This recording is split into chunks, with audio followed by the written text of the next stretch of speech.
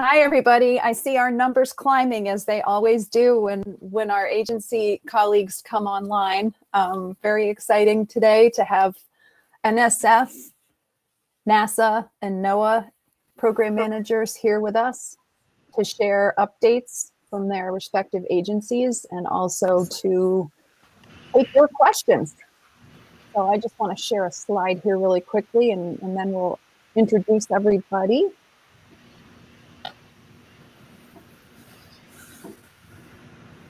Can everybody see that?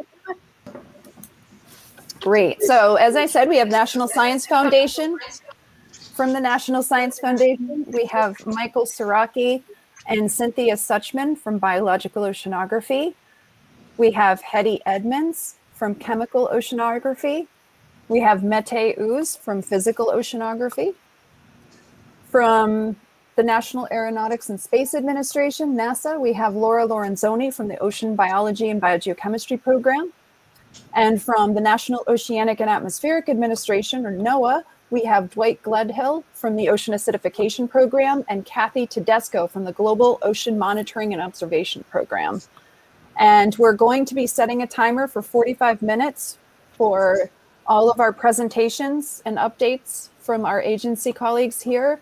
And then we will set a timer for another 30 minutes for you all to enter your questions into the Q&A, which I will be moderating. With that, I'm going to stop sharing and hand it off. I'm going to start with the NSF slides.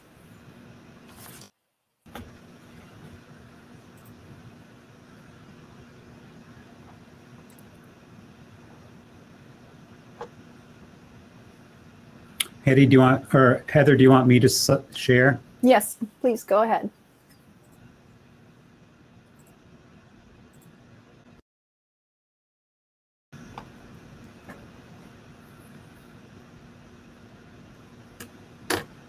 Can you hear me? Good to go. Go. Your slides and I can hear you. Okay. Um, this is Mike Sieracki. I'm going to give the NSF update. And um, the first uh, part of this talk is about people, and I wanted to just give you a heads up on changes in personnel. Terry Quinn has been our division director for three years, and he's agreed to continue for another year. So uh, Terry will be continuing on as our division director. He is a rotator. Um, we're welcome Morris Tivey to section head for Marine Geosciences section. That's MG chemical oceanography. And Morris just started uh, last week in this position. And also Carl Castillo is a program officer from the from the University of North Carolina, and he is uh, running the our new postdoctoral fellowship program.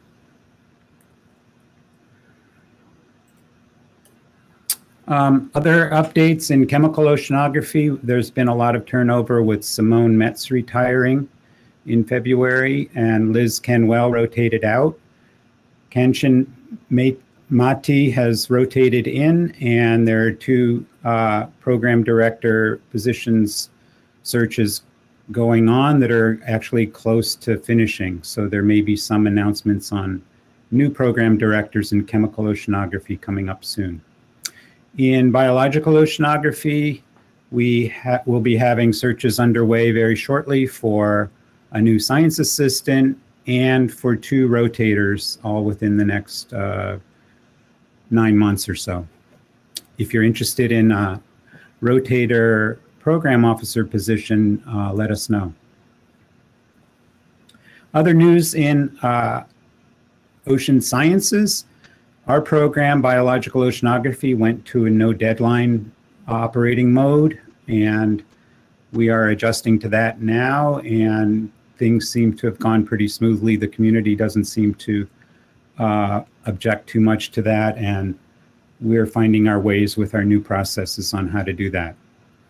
Um, we have a new ocean science postdoctoral fellowship program that got initiated this year.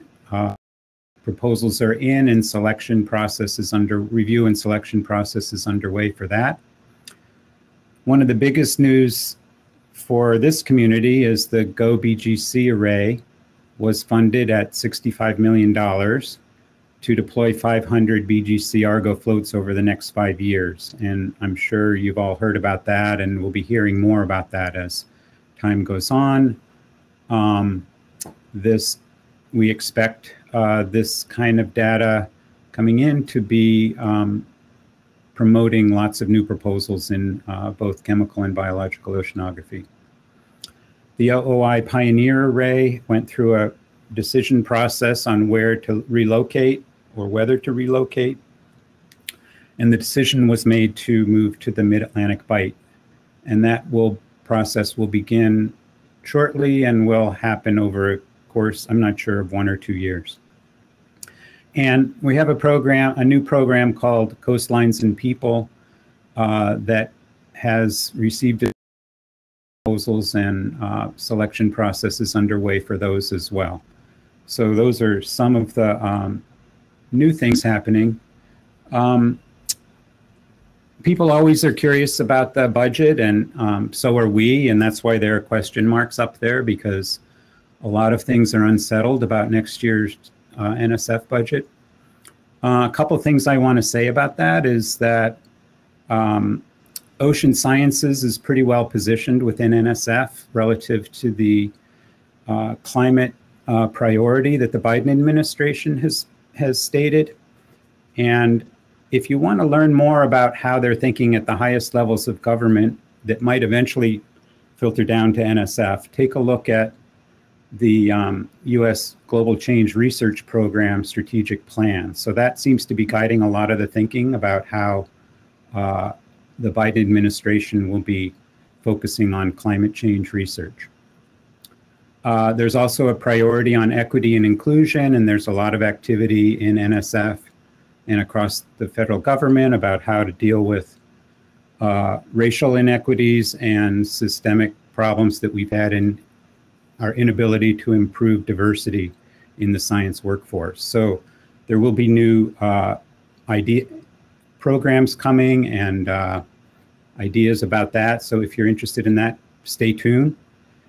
Um, also, the the Senate and House are very interested in this new directorate for NSF. They're calling technology, innovation, and partnerships, and that is sort of a you might say a knowledge to action kind of uh, way of thinking. And we don't know if there's going to be such a new directorate, but there has been um, action taken in those directions for a more um, uh, you might call it translational um, directorate in uh, NSF. So those are some of the things we're seeing on the horizon. Um, just one other thing I wanted to add is that the programs have been dealing with a lot of COVID uh, related impacts on projects, including uh, supplements, and we've put out a lot of uh, communication about how we're how we're dealing with supplements, and we expect that supplements on on funded projects will probably can be continuing for the next couple years in terms of impacts. And we're really focusing on giving supplements only to projects that have had big impact and near the end of their funding. So um, it's still a possibility beyond this year for COVID supplements and uh, just stay in touch with your program officers about those kinds of impacts. Uh, the 10 big ideas are still around and, and thriving, and new uh, initiatives are coming up in all of these areas. Five of them have been really particular to the ocean community. Um, and so I just want you to, if you're interested in these kinds of areas, uh, pay attention to the new solicitations coming out on those. Uh, the Go BGC array was funded out of the mid-scale infrastructure big idea program, for example. Um, regarding the uh, ship operations, the academic research fleet took a big hit in terms of number of operating days, but it did not go to zero. And um, you'll see, you see uh, year 2020 here was primarily the pandemic year. Our um, operating days went almost to half where they were, but the projected for 2021 is to be back up to uh, close to normal operations. There's still a backlog, backlog of crews needs for, for science projects. And so that becomes more of a scheduling uh, challenge and some delays are to be expected. So um, I think the uh, fleet, the ship operators and UNOLS did a fantastic job of maintaining operation of the fleet, no major outbreaks on any of our ships, and um, working through a, a, really dynamic and changing situation with the pandemic. Uh, given that things are changing quickly with the pandemic, UNOLS has updated its guidance June 4th. If you have research cruises coming up, you should pay close attention to that. There are changes because of the uh, high uh, rate of vaccinations occurring. So they're changing their um, policies on testing and quarantining, and all the details are in the UNOLS um, updated COVID 19 guidance. So um, that's sort of a big picture, quick uh, survey of new things that have been happening at NSF this year, sort of an update. And uh, if you have questions, put it in the uh, Q&A chat, and we will be collecting them and addressing them after uh, the three agencies give their presentations. So thank you.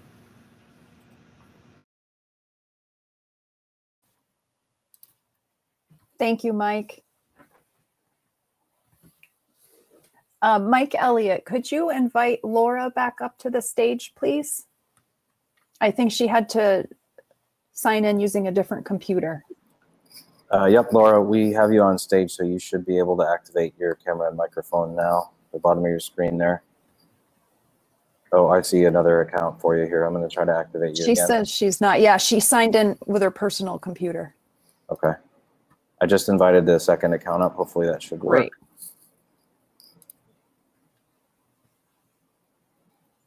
I'll go ahead and we go. start. I'll start sharing your slides now, Laura, so you can begin.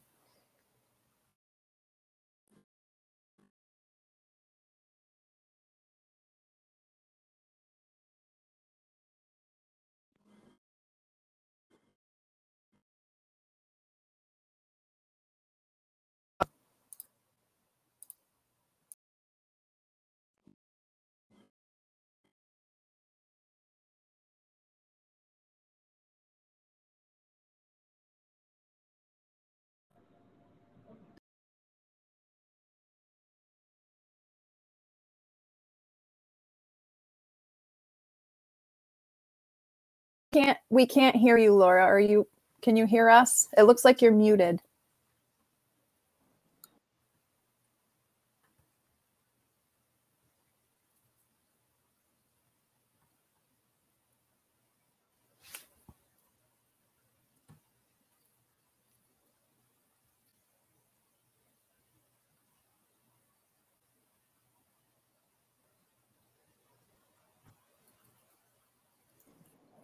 Mike, it sounds like her mic keeps shutting off. Yeah, I'm seeing that as well. Laura, if you wouldn't mind, hopefully you can hear us. Can you just try to refresh your browser really quickly and see if that solves the issue? We'll bring her right back, everyone. Sorry, stand by for the technical difficulties with her microphone here.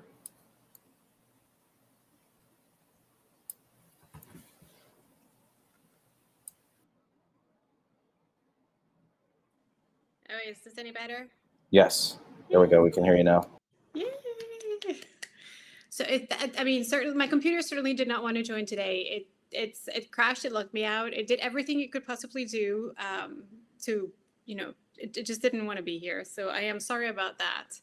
Um, should I get started, Heather?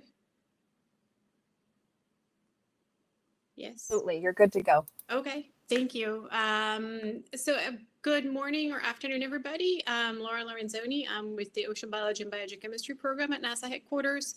Um, and with me also is Joel Scott, um, who also works with Ocean Biology and Biogeochemistry at headquarters. We're delighted to be here. Um, we'll be providing you with a very brief update. Um, there are a lot of slides, a lot of information. These slides will be uh, posted, so you can go through them at your leisure. There are a bunch of links that you can also go back to. Um, and so hopefully this is going to be um, um, informative, and, and, I look forward to answering questions at the end. Um, next slide, please. Um, so first of all, let's talk a little bit about the budget. Uh, next slide, please. Um, we have, um, this is just a brief overview of what um, the F1 FY21 appropriations look like and what the FY22 requests and president's budgets look like. Um, much like other federal agencies, uh, the budget is very much promising. So this has been a, a positive turn that all the agencies have seen. Um, in um, FY21, uh, the appropriation for earth science was about 2.69 billion. Um, it provided the opportunity for NASA and especially Earth Science to continue to move forward a balanced portfolio. Um, and that also meant that PACE uh, mission remained funded, um, as well as all the other uh, ongoing program uh, of record uh, missions. Um, the FY22 request was a little bit higher. It was about 3.2 billion.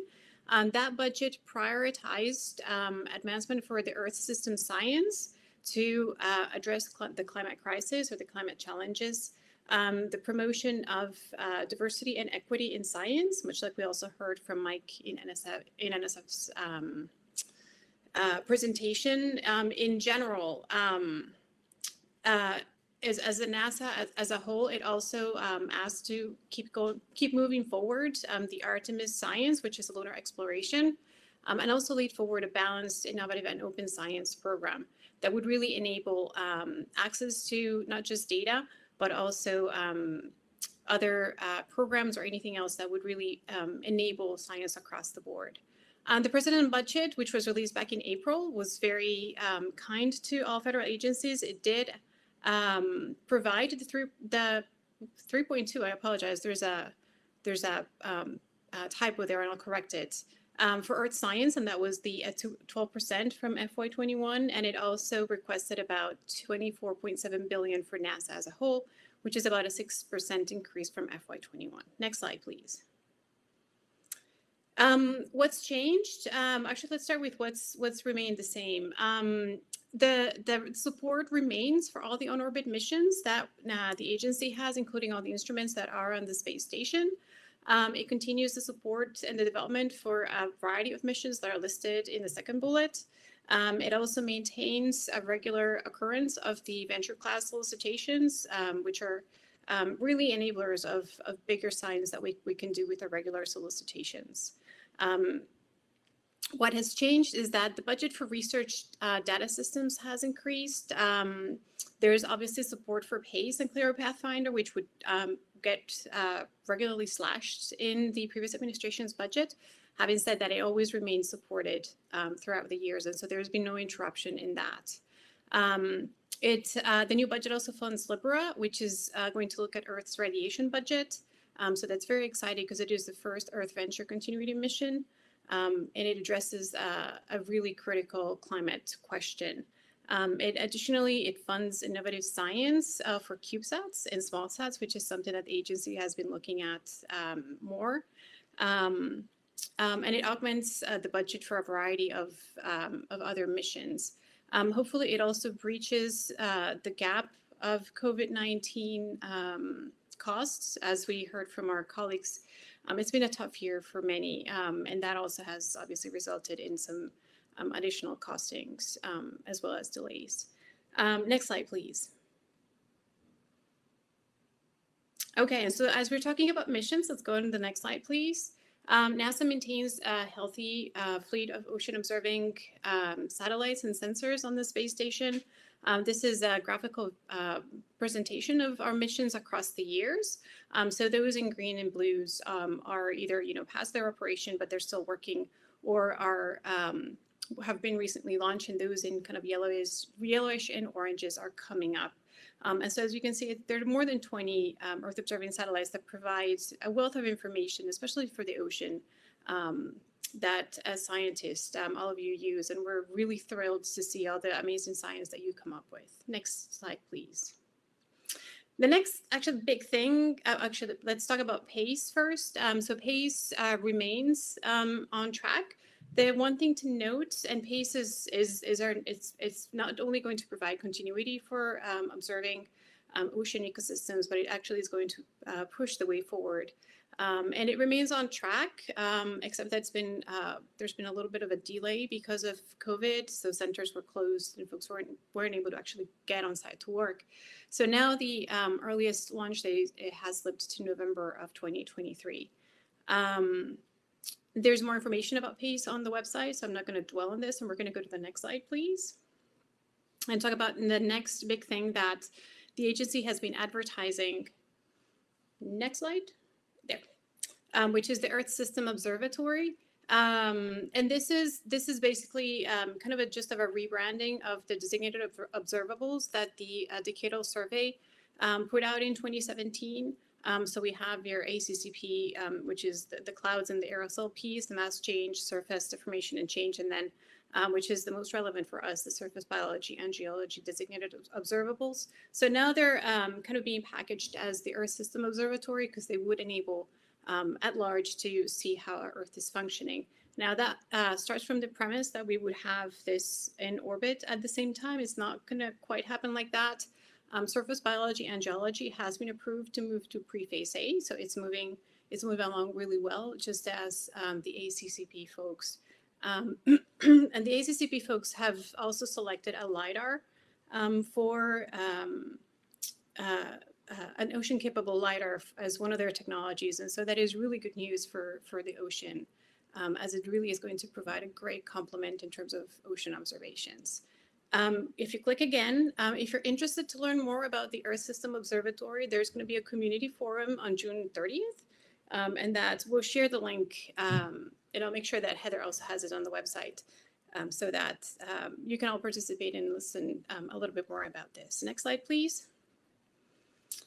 Now, the good thing about all of this that is happening is that for the ocean, it really does mean that we can see um, pretty much you know, across the whole the whole range.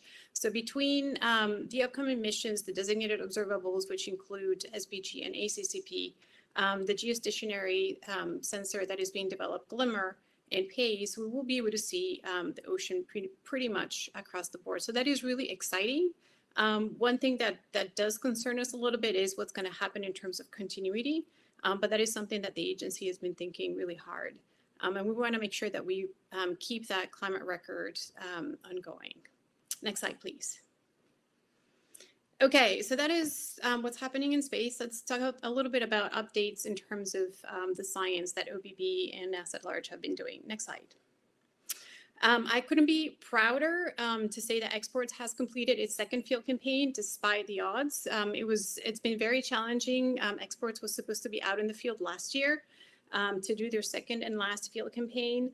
Um, because of COVID, we had to postpone it. Uh, but because of the really the determination of the scientists and our fantastic project office, um, they were able to go out in the North Atlantic um, throughout the whole month of May. So they've just returned home um, June 1st. Um, and they were really, they were able to capture um, the three different epochs that they were looking for in terms of, uh, that's okay, in terms of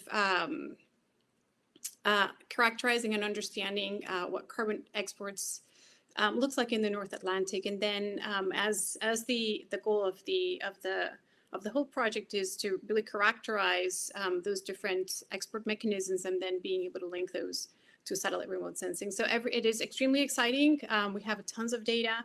Um, we're going to be processing those data and those data are going to be available and open to the entire community before, before we do anything else. And I'll talk about the next step of exports in a little bit. So now we can go to the next slide um, just because I'm so proud of our export scientists and, and crew and team.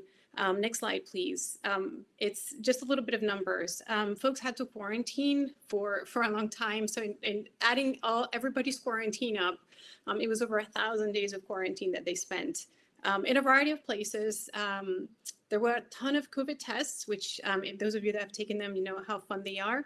Um, but it was um, it was really the team just just held together. We had a ton of um, autonomous deployments, lots of um, liters of water being filtered, um, and we had a bunch of birthdays. I think everybody just decided to have their birthdays um, while on ship because they had a fantastic cook. And the picture you see there is actually a cake. It was one of the cakes that the one of the ship's uh, crew uh, made. Well, the cook made for the for the birthday girl. Um, and uh, we're really, really happy to have partnered with um, the National Oceanographic Center. They were um, they really enabled and helped us get out to the North Atlantic. So we're really grateful to them as well.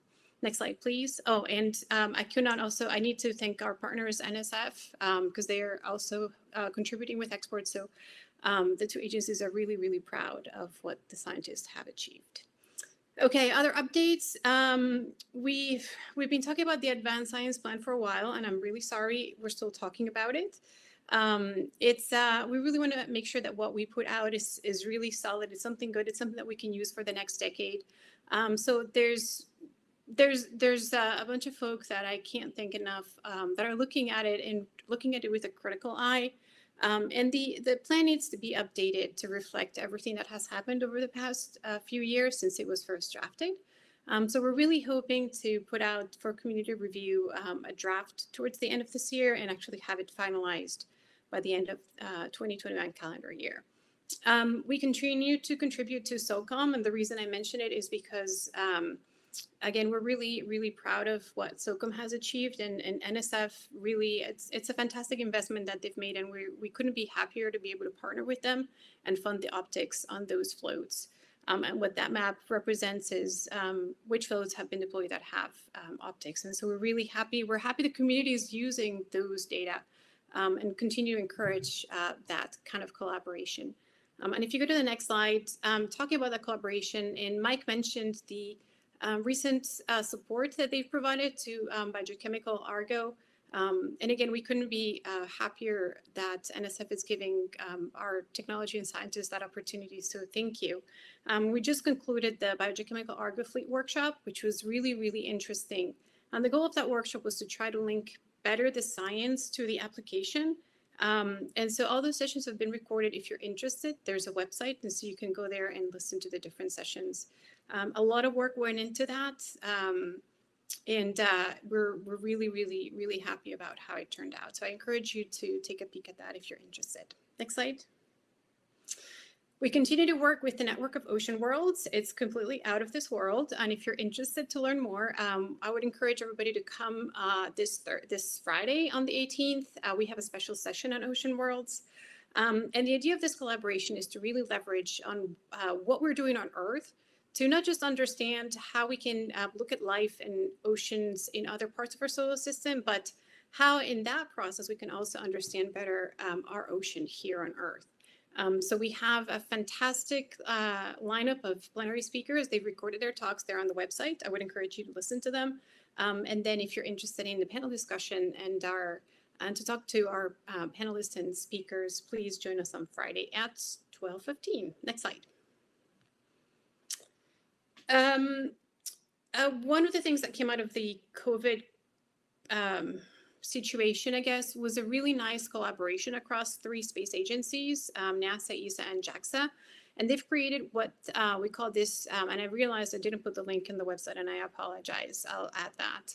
Um, a dashboard that illustrates uh, different um, indicators, and one of them is water quality. So if you're interested in this kind of thing, um, I would encourage you to take a look. It has um, air quality, water quality, and a variety of other indicators that are interested. And it's basically looking at how our planet reacted to um, basically a shutdown of human activities. And it's quite interesting to see the different um, the, the different um, effects of each of the different indicators. Um, that dashboard has a hackathon hackathon coming up at the end of June. and then we're going to have our Space Apps Challenge in October. Um, what this is, that both of these events are inviting the broader community to come in and answer specific questions. So utilizing remote sensing data, um, programming models, um, you know, anything that they they come up with, um, they can answer a variety of questions that include anything from like designing a game on a, a board game, um, doing some art, or you know, pretty much anything that the challenge uh, requires. So um, if you know of anyone that that likes that kind of thing, this is generally it's really really fun. Next slide, please.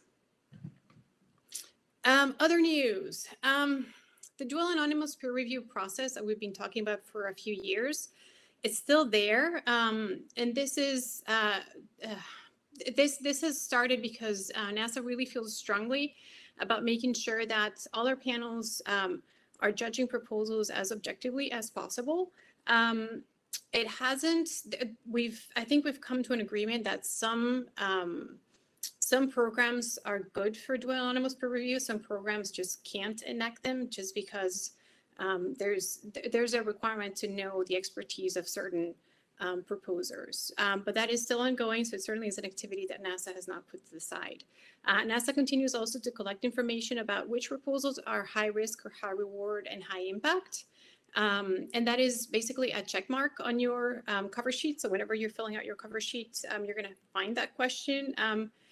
Um, it doesn't it doesn't give you any added advantage. It's just a metric that we're using internally, um, or disadvantage. Let me put it that way. Um, another thing that probably everybody has has heard about is that we established, or the agency established, a new position of senior climate advisor. They've selected an acting uh, person right now, which is Gavin Schmidt. He was the director of GISS. Um, and so for now, he'll be that uh, senior climate advisor until a permanent person um, is assigned. And this is in response to the also the administration's priorities on climate. Next slide. Um, we've had a bunch of recent selections. I'm not going to go through them. The slides are here, but it's been a really, really busy year, and I'm sure the community has felt it too. Um, I can't thank enough our, our panelists. So all of all of you that have served as panelists, that's it's a lot of work, it's a lot of time, but we can't do our work if it wasn't for you. So we're really indebted to you. Um, and if you submit a proposal, please consider acting or serving as a panelist because um, we really do need folks that can um, that can really provide us feedback on the on the top-notch science that we receive. So please, uh, please consider that.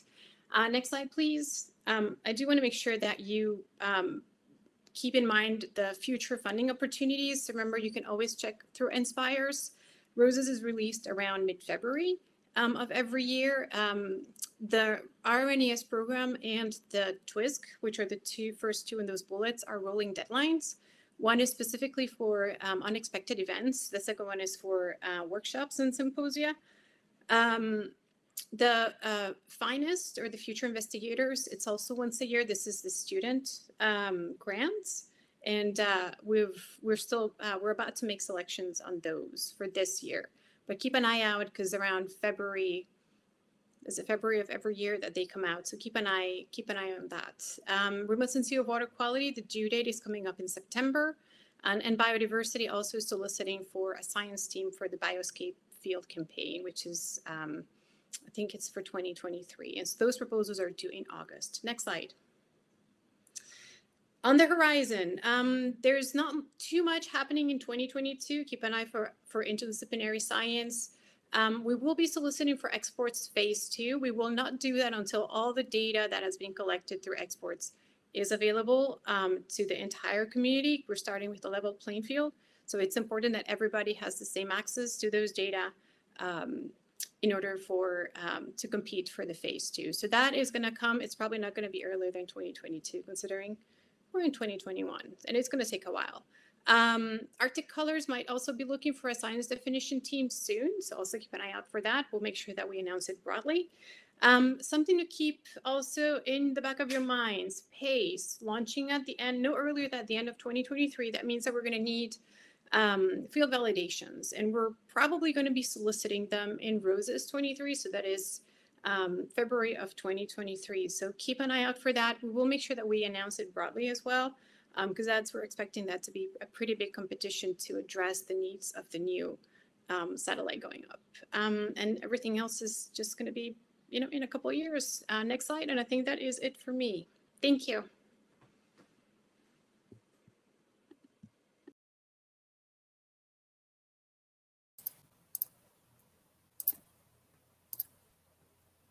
Thank you, Laura. Can we please have our, our NOAA program managers on stage? to begin slide sharing. Kathy, are you going first? Great. You just have to unmute. Yeah, I think I'm going first, right, Dwight? Looks good. Yeah, um, if uh, if it's all the same to you, though, I'd I'd like to run my own slides. That's I'd, great. Great. Okay. I'm going to talk really quickly. So um, you can see my slides, okay? All right. The I'm Kathy Tedesco. I'm a program manager in the NOAA Glo- Global Ocean Monitoring and Observing Program. we became a program about a year ago. We were a division prior to that, so we were sort of elevated within NOAA. Um, we've just developed a new strategic plan that will be released this summer, and we have a new website. I didn't put anything in about the budget, but I can say that we've been flat funded for many years, and the president's 22 budget looks good for GOMO. It also looks good for the Arctic program, which is part of our um, part of GOMO. So you can't really see this map. It's very small, but GOMO supports over 1 million ocean observations per day. We support the OceanSITES, um, repeat hydrography, Argo program, um, global drifter program, and a lot of unmanned or uncrewed surface vehicles. We have two upcoming events. We have a community workshop this summer.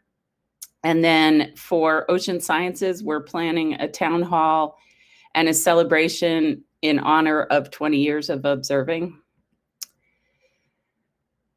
I'm gonna I'm gonna talk quickly, so I'm gonna skip through some stuff. But um, the highlights for the for the um, global ocean carbon observing network that GOMO supports, which is repeat hydrography and PCO2 from ships of opportunity and moorings.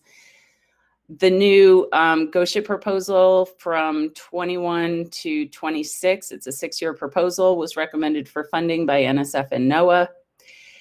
And related to uh, COVID 19, we had GOSHIP A13 out there. They left South Africa and then they were called back to the US due to COVID.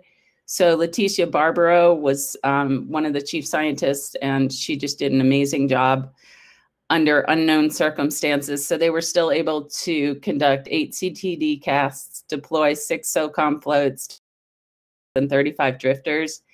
In addition, the underway systems were still functioning as we um, as the ship crossed back to the United States, and we had Weijun Cai's Del C13 DIC system going, and um, there were bio GOSHIP samples collected as well. We have we're planning to redo A13.5 this winter, and in FY21, GOMO partnered with the Integrated Ocean Observing System, NASA, OBB, and OCB to fund a bio-GOSHIP pilot study to investigate the distribution and biogeochemical role of plankton in the global ocean. So six PIs were involved in that in that project, and they're funded to participate on three cruises over the next two years. And there's a cruise in the Atlantic, the Indian, and the Pacific. Um, BioGoShip has a new website on the bottom left, and some upcoming events related to carbon are that we've discussed, um, or I've discussed volunteering to host a BioGoShip data requirements this fall. Um, I assume it's going to be virtual though. And the Surface Ocean CO2 Network, um, we're planning a side event for ocean sciences I'm planning it with Maciej Telszewski of IOCCP and hopefully Maria Hood of G7. We had a solicitation this year with the Climate Program Office. So the Climate Monitoring Program and the Climate Variability and Predictability Programs. And it was to increase the usefulness of NOAA OBS to the community. So several BGC um, projects were recommended for funding. The PIs have been informed, but the formal announcement will come out in the fall. The we also support the TPOS um, 2020 project. So the Tropical Pacific Observing System is a multinational observing system. And TPOS 2020 is transitioning to TPOS, it's going from sort of a planning phase to an implementation phase. So the final report for TPOS 2020 is due out any day. And there's a new TPOS website, tropicalpacific.org. TPOS is actively seeking new members and new partners. And if you go to the new website, there's a drop down that says get involved, and there's a form that you can fill out to get involved. But the but the um, the ways that you can contribute are to contribute data, or to contribute um, observations to the sustained observing system, or you could serve on a TPOS governance group like the Science Advisory Committee, Implementation Coordination Group, or there are two TPOS events coming up. One is at AGU on atmospheric modeling, and one at Ocean Sciences for um, focused on observations and modeling. I'm almost done. Um, in FY19, GOMO and NASA OBB funded two awards to redesign BGC Argo profiling floats and improve the sensor technology. The one award was to Steve Riser at UW in partnership with Ken Johnson at MBARI and Seabird, and the other Sarah Purkey leads from Scripps, and she's working with MRV and MBARI. So the first triple oxygen float was deployed in November. On the left is a picture of the of, of the three oxygen sensors. And the third one will be deployed by the Ocean Acidification Program on their West Coast cruise this summer. Um, the middle picture is the the redesigned pH sensor that Ken Johnson's working on. There's some text there that you could read later. And the last thing is the Laura Lorenzoni and I are both co-chairs of the US GCRP Carbon Cycle Interagency Working Group. And we're looking to the community for volunteers to help develop the next decadal US carbon cycle science plan. So I've put in here the first report by Sarmiento and Wofsy from 99. The link is in there, I hope. And the next report came out in 2011, and that was Michalak, Jackson, Marland, and Sabine you can um, reach out to me, reach out to Laura, reach out, uh, Gyami Shrestha's here somewhere. You could reach out to her, and there's a Google form that you could fill out to nominate yourself or um, nominate somebody else to participate in the as or to serve as an author of the report. So take a look at the reports and see if it's something you're interested in. Reach out to us. And this last slide is just the, the GOMO new website and my contact information. Thank you.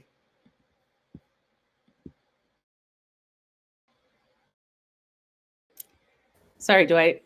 No, you're good. Dwight, Dwight take all the time. Take all the time you need, Dwight, to finish up. It's I okay. so fast. you did talk fast. Thank you both. Um, so NOAA's Ocean Acidification Program actually is celebrating its 10 year anniversary this year. Time flies when you're having fun. Um, so over this past 10 years, we've coordinated and engaged transdisciplinary research across the agency in partnership with other federal agencies through the Interagency Working Group, NOA, and the CCIWG, which Kathy just mentioned, and internationally through the Global Ocean Acidification Observing Network, or GOA-ON. So in response to the Federal Ocean Acidification Research and Monitoring Act, the OAP works to improve our understanding of how ocean acidification may be altering the nation's ocean, coastal, and Great Lakes, how these changes may impact the nation's living marine resources, and how these impacts could affect industries, fisheries, and communities.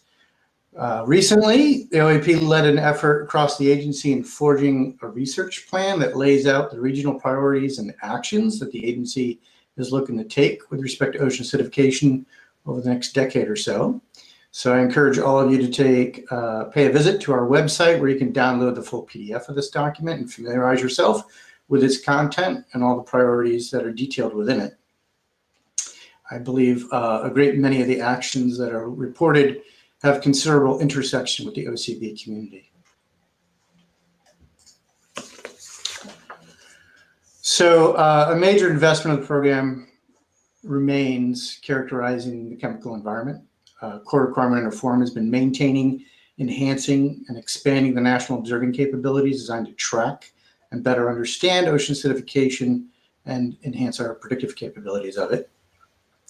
Our emphasis has been largely confined to within the U.S. coastal large marine ecosystems, so we work pretty closely and in tight partnership with GOMO, whereby uh, kind of the divisional labor has fallen out where we're tightly focused in around the waters most relevant to our marine fisheries, while GOMO is taking on the entire rest of the earth. So kudos to you.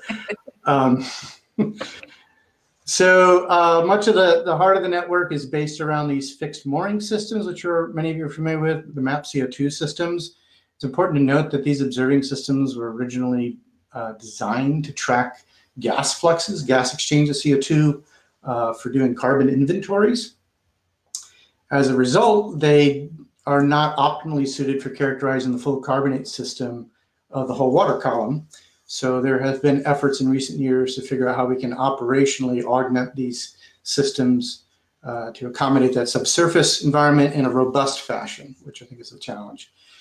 In coming years, we are investing in an enhancement to the system to allow us to have a more autonomous DIC system, uh, shown here.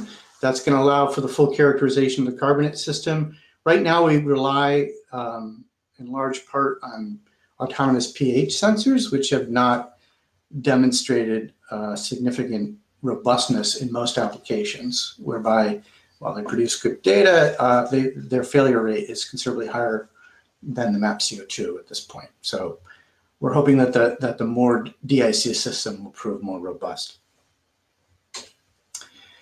To complement the fixed moored time series, we have a, a we invest a number of um, we invest in a number of different platforms which that are ship based. One is an autonomous uh, underway system, which is also uh, done in coordination with GOMO, where again, GOMO covers a lot of the global environment and we cover areas that tend to be much more exclusively located where our fisheries are. Um, in addition to that, OAP sponsors quadrennial surveys of uh, the coastal large marine ecosystems, at least those south of the Bering Sea anyway. Uh, we didn't have any this past uh, fiscal year as a result of COVID-19, so we are backlogged. So the West Coast Ocean Acidification Cruise, which was originally expected to go out last year, is in fact about to go out any day now, I believe. It will be immediately followed by the GOMECC cruise, the Gulf of Mexico cruise.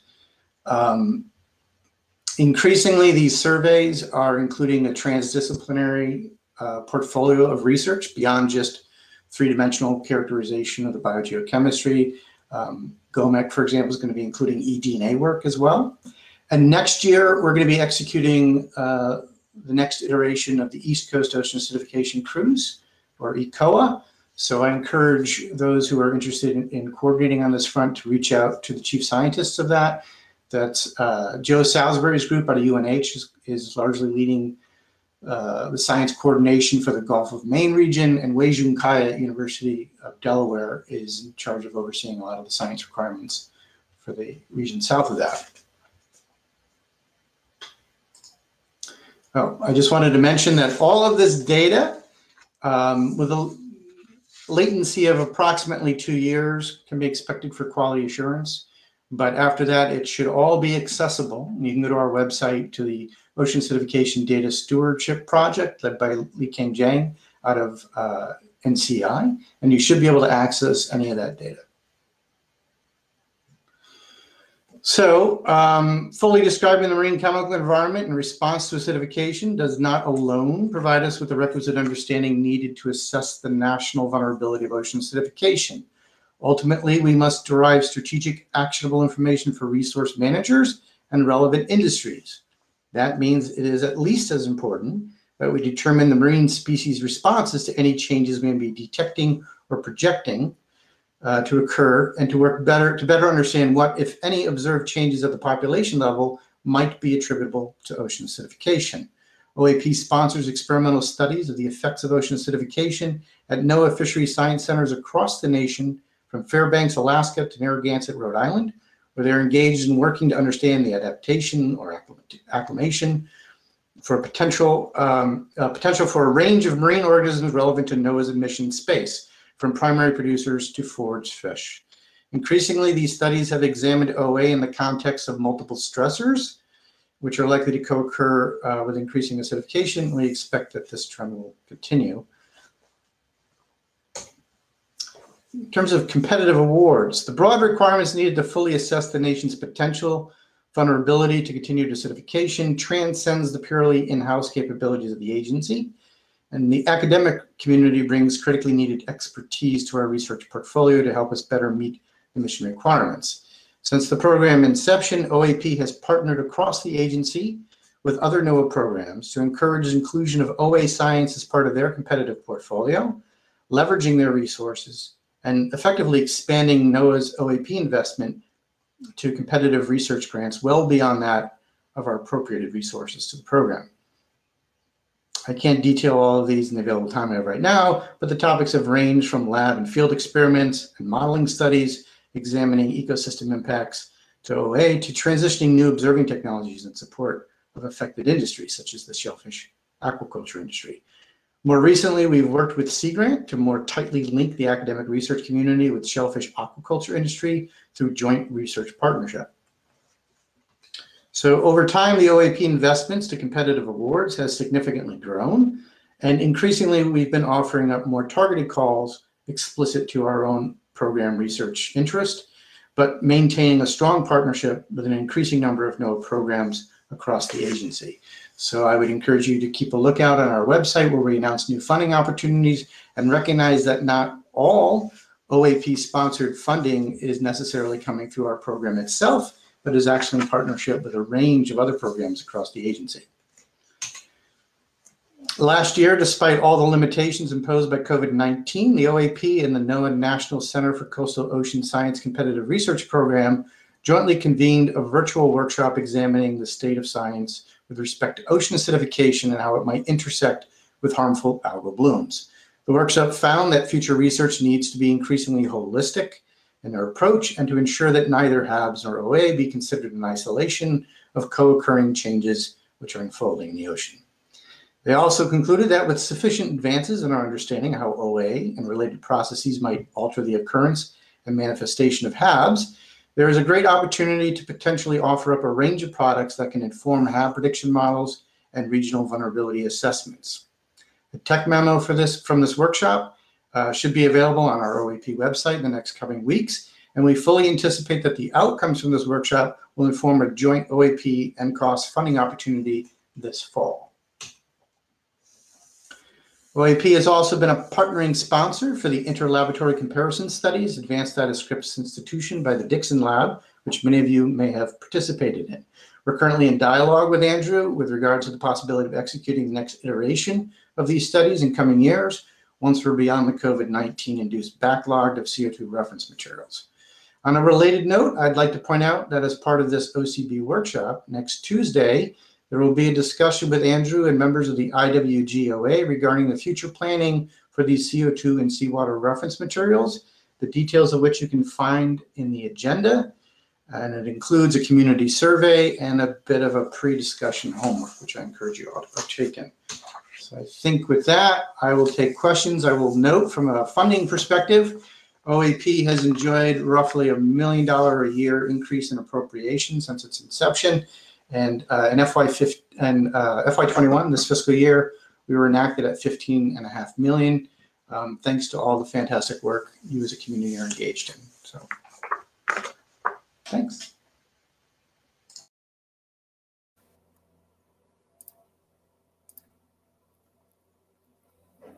Thank you all so much for these presentations. I have a feeling we're going to have a lot of questions given the attendance. Um, I would ask that all of our agency representatives please come back on stage with your cameras on. You can keep yourself muted unless you're speaking.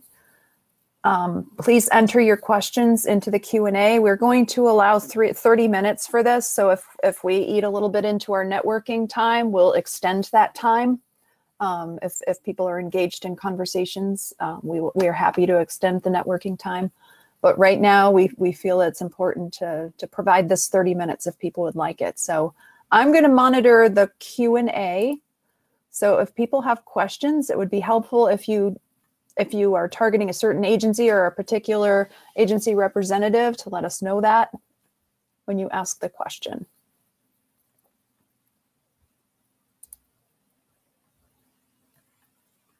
And if any agency managers have any comments or questions for each other or any further comments, please feel free to, to jump in. I raised my hand. Can I can I say something? Absolutely. Sorry, no, I just I forgot to actually um, make make emphasis on this, but I really want the community to um, to know this so that they can kind of keep an eye out. Uh, one of the things that I I think we're proudest of um, in the ocean biology and biochemistry program is that we partner with MUREP um, in a recent competition specifically focused on ocean. Um, and uh, uh, we had a couple of questions. We, we wanted to look at um, ecological changes and then um, some changes in the carbon cycle. Um, and this solicitation was was very um, specific in that not only it addressed the science relevant to OBB, but it also addressed the interests of the MUREP uh, program, which really is trying to engage and incorporate more into the science the underrepresented um, groups and minorities. Um, and we had we had a really nice set of, of proposers come forward, and uh, I think I think it was it's success. We're going to be able to see it down the road um, as as we really um, build a more diverse community. So we, it's really difficult to say now we were successful, um, but the plans that we, were put forward were really really good and solid, and we all felt as as if this is going to be a really great investment. Um, so just just as a heads up to the community, look out because we really want to promote these kinds of um, opportunities to really entrain uh, more underrepresented groups into our sciences. And we understand that, you know, ocean sciences is not is not the most diverse group. I mean, it's we're fortunate that that um, females are, you know, look, at us in this panel. You know, we're fortunate that females are, are being more represented, but still in our program, it's about 25% of PIs are females, and we really need to to boost that. And um, if we go into other, um, you know, racial groups, is you know, let's not even talk about it because it's it's it's embarrassing. So we really have to do um, a, a, better job at in training minorities. And so we were really proud of this, and I um, I wanted to highlight that um, selections on that solicitation should be coming out by the end of this month. Thanks, Heather.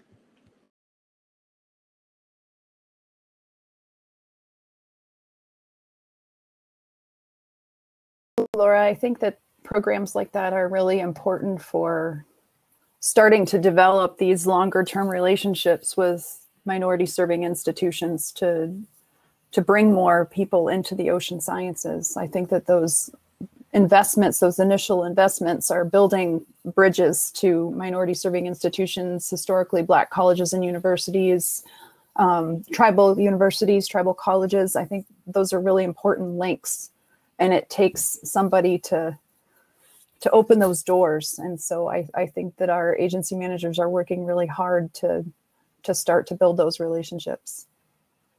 Um, Kathy Tedesco has asked that you add a link to the, I guess, the Ocean MUREP program in the chat. And since we're on the topic of diversity, I am adding a link to the JEDI Jamboard because we are really want to talk about this um, moving forward as a community um, about engaging broader groups in the ocean sciences and OCB and the ocean sciences more broadly. Um, and so I have a Jamboard that we are using. Um, we're using it, we used it in our diversity discussions last uh, Friday, I think it was. And then we're also using it um, in the networking space. You'll notice if you go to the first floor, it is all DEI topics or JEDI, JEDI topics.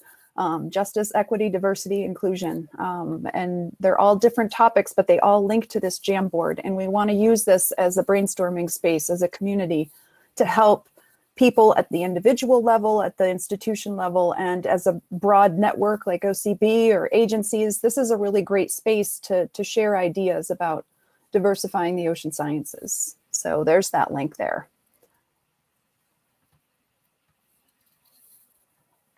Watching the Q&A. Usually this is a free for all, but I think everybody is being shy. Here we go. All right. Tatiana Rynearson, a question for Mike Sieracki. Given that biological oceanography has dropped target deadlines for proposals, any advice on how we should plan start dates vis-a-vis -vis proposal submission date? Six months? Talk to the program manager? So thank you, Tatiana. We're um, working these things out, and um, we don't want to have uh, fixed dates for proposals because that having no deadline. So basically our approach is going to be to accumulate proposals up to a certain number. And when we have that number, then we will plan a panel. So we expect that there's the possibility, looking at how other programs have managed this, some some um, proposals get decisions a little bit quicker and some might get a little bit later than what we had in the past. So um, if you have a particular uh, start date, you know, we're still working on a six month uh, decision for most of our, the majority of our proposals. So you can think about that. Or if you have like a particular critical date uh, relative to a cruise opportunity or seasonal effect or something, um, you could talk to a program officer about about timing. So to add to that, Tatiana, the consideration if you plan to go to sea um, is also uh, ship scheduling and uh, far ahead you need to submit proposals to request ship times, particularly global ships, hasn't changed. So we don't have a, a target date any longer in BioOsh, but OCE itself um, needs, I think, I think it's 18 months actually. I'm not, it's either 12 months or 18 months for global class ships. So that might um, help you decide the lead time you need for any given proposal. Yeah, it's 18 months for large ships. Wow. Okay. I would also add, I mean, just so that people don't get that in their head that so six months has always been a pretty unrealistic time frame for us actual start date, even for those of us who still have target dates. Six months is a good target for us to complete the job of the review process and getting the decision out for you. So, um, so something a little longer than that is is a bit more comfortable. Thank you. We've got another question here with four upvotes. And I love this question. I was one of the upvotes. Since we had our negative emissions carbon capture discussion this morning, can the programs comment on whether or not they intend to fund research into those questions?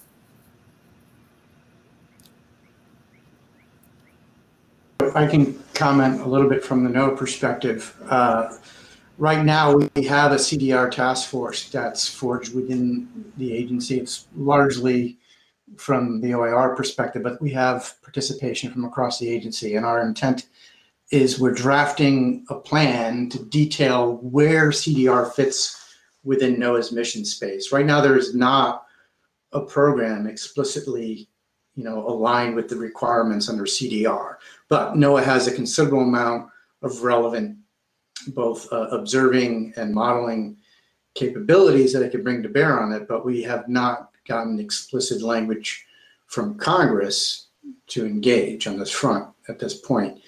So um, we're in the process of trying to at least develop internally where we think NOAA's mission space plays in this, and we don't envision that that it would be implementing CDR, but we see a, a significant role with respect to us evaluating the efficacy and of, uh, of some of the CDR claims and evaluating if there are co-benefits or unforeseen risks that might be associated in the marine environment. Um, so we're we are at least internally engaged in, in developing plans for CDR, but we do not as yet have any such program that's tasked with it. Do NSF or NASA want to comment on this one? I, I, will sorry, Mike, did you want to close? No, go ahead, Laura. Um, all, all I'll say is, um, and it's funny because I just looked at the at the chat and and um, there was a you know reference to research itself, and I think that's where NASA's interest lay. Um, certainly, we're not um, we're not going to be looking at um, specific anything specific in terms of you know geoengineering or anything like that. Uh, we're very interested in understanding how our, our system, our ocean, um, uh, coastal vegetation, all of that actually naturally captures and cycles carbon, and that's why we have already targeted solicitations that look at um, carbon cycling across a variety of interfaces. Um, and we'll certainly continue to support that kind of research. So we're um, we're coming at it from the from the kind of the natural research side that doesn't mean that we're not keeping our thumb on it, um, and we'll continue to monitor um, some of the discussions and where we can contribute to the science, we'll continue to do that. Um, and that also includes our carbon monitoring system um, solicitation and program that's that's pretty robust and specifically addresses um, you know, how carbon how carbon's being is being cycled through a variety of systems, more on the application side. And I'll just say something. Uh, Hetty, can I go? Uh, just uh, there hasn't been specific conversations yet in NSF about this that I'm aware of at our level, but we do are aware of a National Academy report that's due out uh, within the next few months that probably will provide guidance on priorities in this area. So pay attention to that, and like I said, pay attention to the uh, U.S. Global Change Climate Change um, Research Program. So, Eddie. Yeah, so I would um, just add to the kind of watch this space, um, you know, where some things might not fall within the basic research purview of the chemical and biological oceanography programs, they might cross over into other parts of NSF, um, including engineering. And um, the as the potential new technology application directorate comes into being, that, that might be a, a space to watch. So, so to answer the question, you know, are we planning to fund proposals? Well, no, not right now, but um, you know, these are conversations and, and things to watch. And Cynthia put a link in the chat relevant to what, following up on what Mike and Hetty, especially Hetty, just said. I, I just wanted to add that the USGCRP Carbon Cycle Interagency Working Group is collecting information from all the federal agencies on what activities they have ongoing that might be relevant for CDR. So um, uh, we're we're just you know we're still developing the database. We don't even have all responses from NOAA yet, but we're we're reaching out to all the agencies. So it's it's not just marine CDR it's terrestrial also. Those lines, I just wanted to shout out that John Dodge put a link in the chat for the DOE CDR opportunity. Um, there's a lot of terrestrial in that. I think there's a little bit of marine, but I think it's largely terrestrial. Go ahead, Mete. Oh, oh we can't hear you. what happened?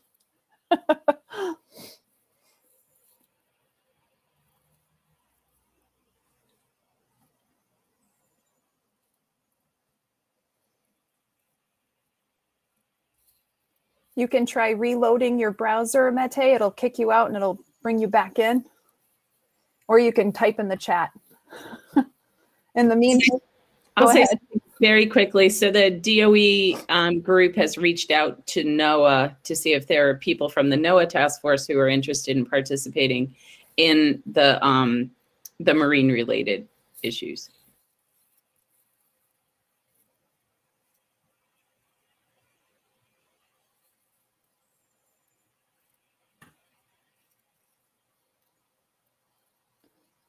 Jessica's posting some great information in the chat here as well, Jessica Cross. So please, I, I think Mete's having difficulty connecting or getting his mic working.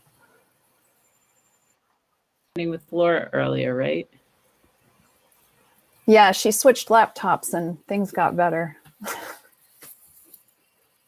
Oh, and Hetty has already answered the OOI relocation question. Thank you, Hetty. The, the announcement says the move will take place in 2024 from for the Pioneer Array moving to the Mid-Atlantic Bight.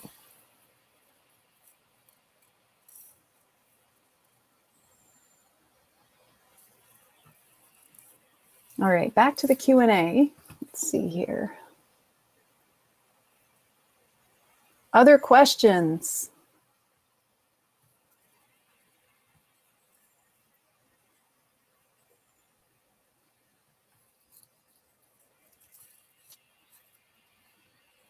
We still have 15 minutes left. This is a unique opportunity to talk with your program managers all at the same time.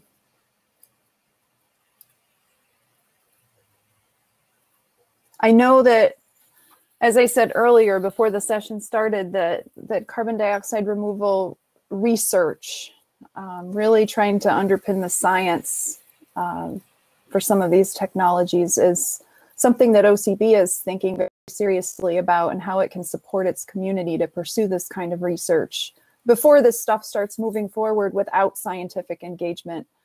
Um, and so we wanted to wait because I know there are, there's a NOAA task force, there's the academies has a, a synthesis activity that's ongoing. So we want to maintain a dialogue with NASA, NOAA, and NSF, and, and, and DOE perhaps about how to how OCB can best support the community on this, um, be it you know new research areas, uh, working groups focused on particular uh, technology approaches, whatever it might be. So please be thinking about that, both as a community and as our agency supporters, about you know how how OCB can facilitate this. Um, Jessica, I see there's the internal task force. The DOE is leading a congressionally mandated interagency task force.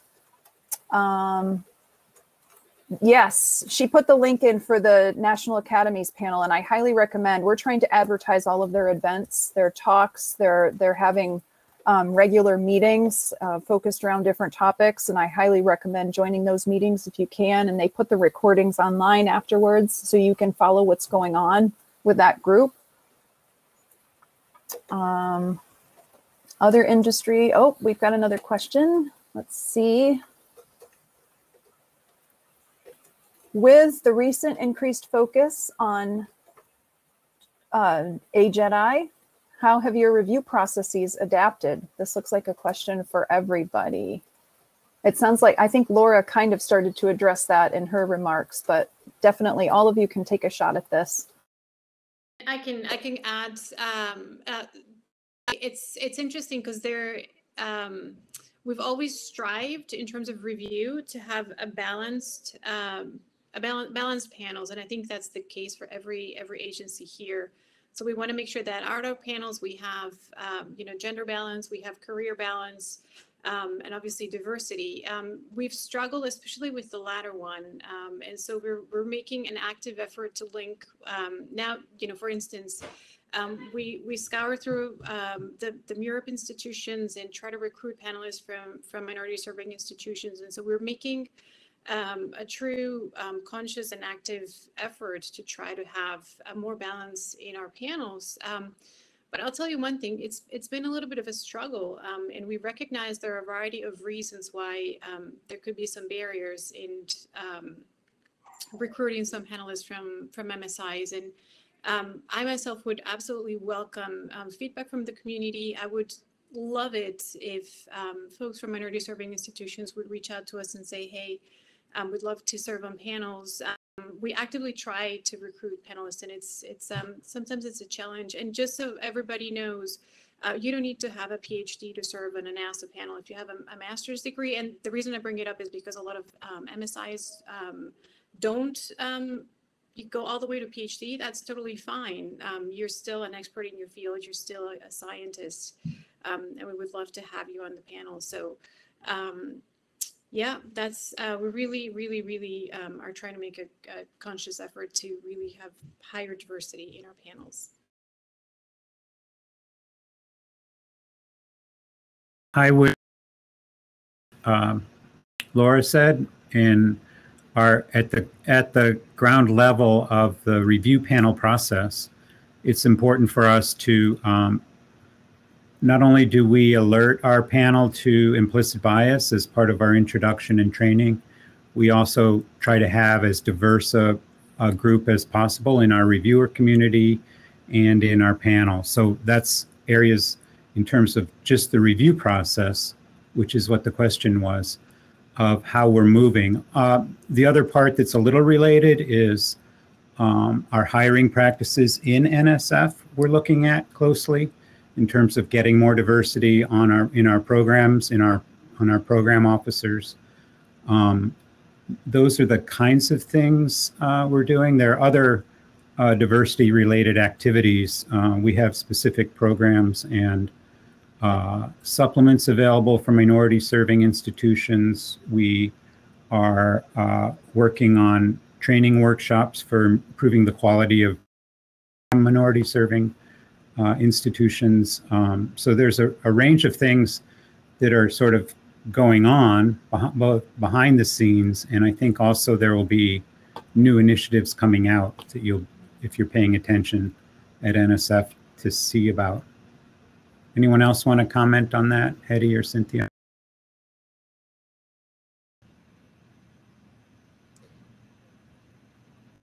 I, I have a couple comments about um, accessibility and that one thing that I think that we have observed in running panels during COVID, well, first of all, um, we really appreciate, I think, like Laura said, that the community has been kind of stepping up to serve. Um, but in terms of accessibility, uh, one of the things we're hearing with remote panels is that uh, it allows a wider portion of the community to participate, especially those that that have a hard time traveling. So um, we're learning a lot as we go that I think can help inform our processes going forward to make sure that we can engage as many folks as possible in our processes. And um, so that that's a I think a good thing that came out of the last year for us. Um, and, and again, a plug if you're interested, volunteer to serve on panels. Um, we are doing our best to diversify of not very diverse community. That's an excellent point, Cynthia. Thanks for remembering that.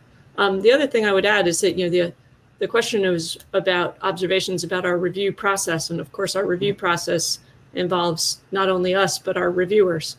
Um, and I'd say one of the things I've observed is my first panelist as an NSF program officer was 12 years ago, and at that time, in our introductory panel remarks, my then division director was saying, you know, pay attention, you know, if you spot something that's opportunity for broadening participation, call it out, et cetera. I mean, we, we've been trying to do it. And I'd say one of the observations that I've seen about our process recently is that reviewers and panelists really are paying attention. So not only are we paying some more attention, but I'm actually seeing reviewers calling out opportunities and you know giving um, identifying missed opportunities and also identifying you know real standout broader impacts. So i'd say um, you know that on looking at the other side of the coin um, we're seeing more engagement from the review community in evaluating this as an aspect of our process.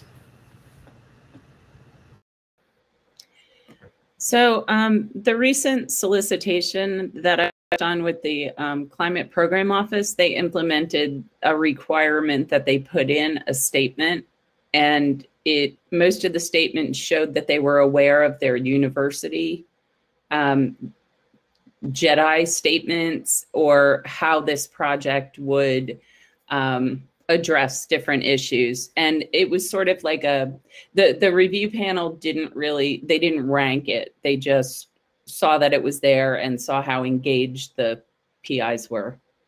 I don't know if that's if NOAA has done that or if it was just the class who's implemented that.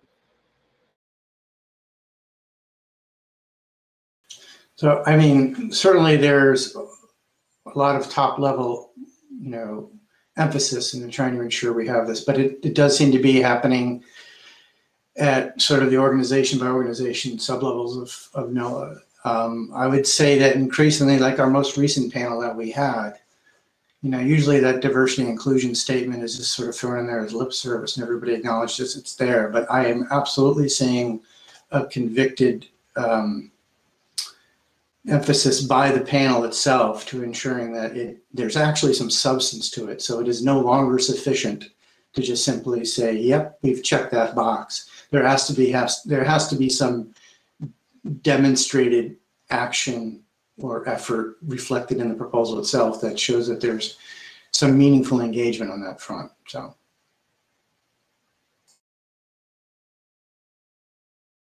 Um, had more discussion were that one of the PI was on the board or established the guide the guidelines for their university or things like that.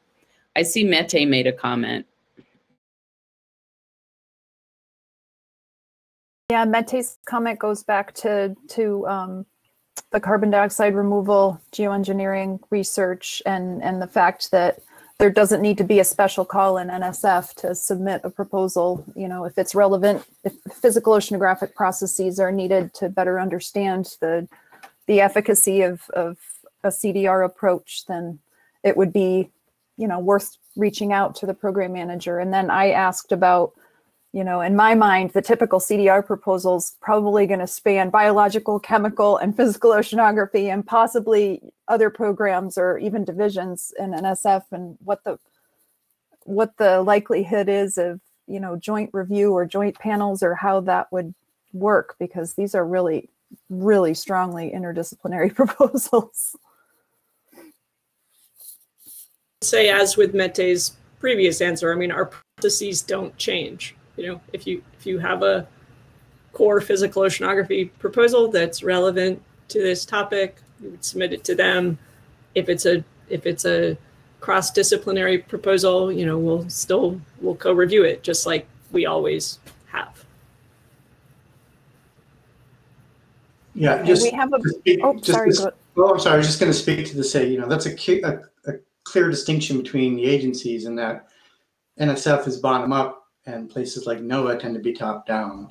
So we're eagerly trying to en- ensure we get some top down direction for us as an agency as NOAA to ensure we can engage on this front.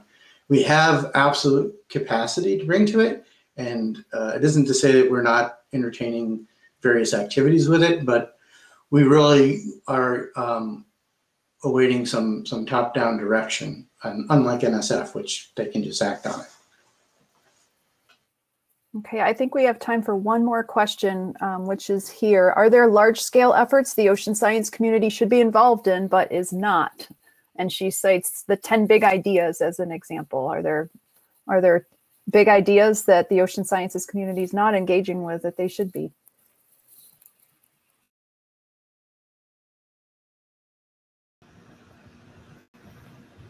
I think our community is amazingly adaptable and um, opportunistic at finding uh, ways to get funding in NSF. We try to highlight areas where we see um, uh, new uh, opportunities, and um, it's amazing how well our community does in these programs. Um, so I'm not thinking of anything that comes quickly to mind that we're sort of missing out on. I think. Uh, I don't know. Cynthia, do you have anything or Hetty? Just, I would say just to reiterate earlier advice to kind of watch this space. I don't remember who said it. Um, I, I would say this administration is remarkably, hearteningly interested in climate change. And I think um, paying attention to what's coming out of the USCRP is going to be a really uh, good idea for the community in the coming years or uh, year or so. And I'm, you know, I think we're all hopeful there'll be some new opportunities there.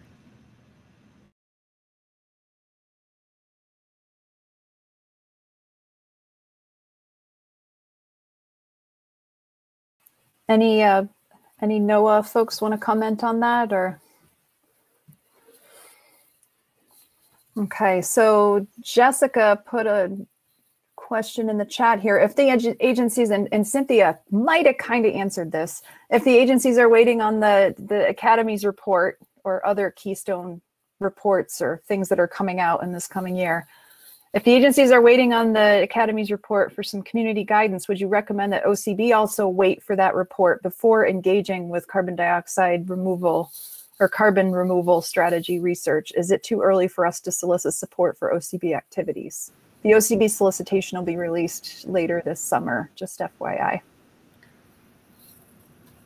So if too early, you're talking about like a couple months, then yeah, if you if you can wait a few months for those reports to come out, this, the CDR space is really huge. And, you know, we saw that in the presentations this morning, and there's a whole lot of areas where uh, people could ask for funding.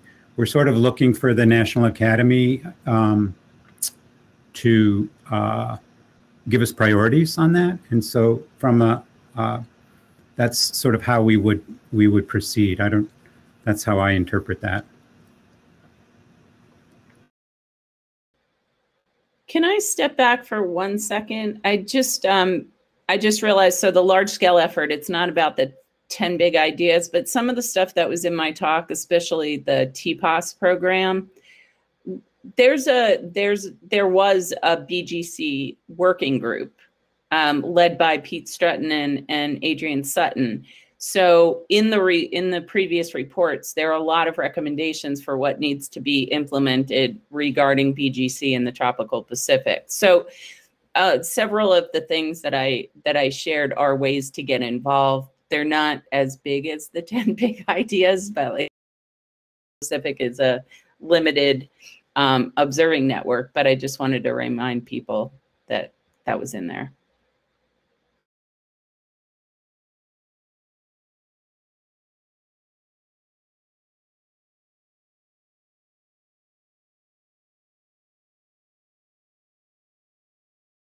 So uh, Jessica said that two months might be actually be a whole year relative to the OCB solicitations. So um, I, do you want to answer that, Heather? I mean, it, it sort of depends on if you, um, clearly there are better experts on in the CDR space than me, and maybe you can preordain what the priority research areas are going to be in that report. And maybe the National Academy process has identified those in some way, and you have a clear idea what might be coming out in the report. And then um, if you put in a proposal to OCB for a working group, and you're lucky and it aligns with their priorities, or you you figured it out, I guess I guess that could work. I, that's my first off reaction. Um, yeah, so we have an SSC member who is on that committee, and, and I think that we can work with them to to see what the emerging priorities are and get a sense of the timelines. And and because, you know, OCB is a pretty nimble, adaptive, flexible model, I think that you know we can we can adjust as needed. I, I hate to think about waiting another whole year if this report's coming out in two or three months. So something to be thinking about. Yeah, I, I guess I was being flippant saying that, and I was thinking more about our funding cycle and. Um, mm. Okay, um, it looks like we are out of time. Um, let me see. I think one had one last question had come in, but I can't find it right now oh, the UN Decade. Yes, the UN Decade just endorsed 50 Ocean Decade programs, and and that link has been put out everywhere. Um, and it's it's also on Twitter. It's on the OCB feed, so you can take a peek at that and see what has been endorsed. Um, but she's asking, how do the agencies think about these endorsements with respect to their priorities? And this will be the last question, and then we'll go to networking. Thank you actively involved with those developing the um, proposals.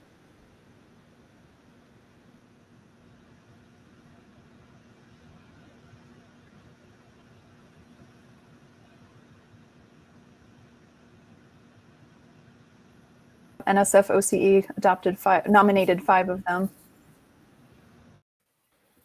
The right now though like with the oasis program that Meghan Cronin put in and got support um, we're now sort of wondering where all the ship time comes from and things like that to actually implement the the projects.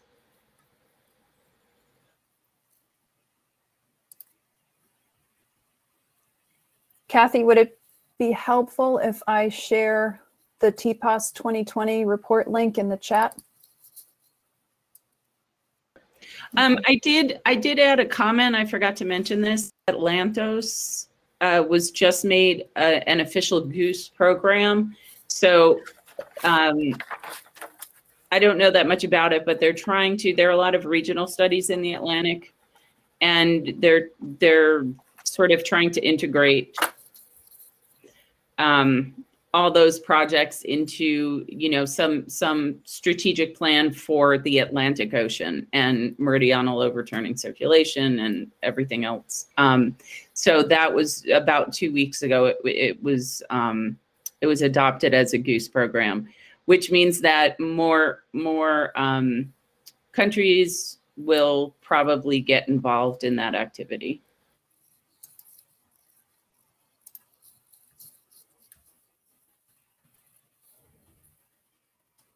All right. Oh, it is? Oh, that's right. It's Tropical Atlantic. Sorry. Tropicalpacific.org. Tropical Pacific. Oh my God. I'm really, Oh, really I had tired. a typo anyway. So That's easy to, to remember. Tropicalpacific.org. Okay. Um, all right. Thank you all so much for taking the time to put your slides together and, and share these updates and to take the questions. Um, we are going to wrap this up and we would ask that everybody please join us in the networking space. Um, we will keep it open um, until two o'clock if possible.